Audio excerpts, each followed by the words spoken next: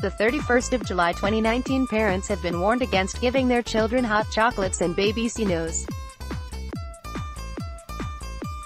Parents have been warned against giving their children hot chocolates and babycinos first ad course company, Tiny Hearts Education have urged parents to avoid the hot beverages, which pose a choking hazard thanks to the inclusion of marshmallows. The organization wrote on Facebook, parents should be aware, while they might look cute, sized marshmallows are a choking hazard for our little ones.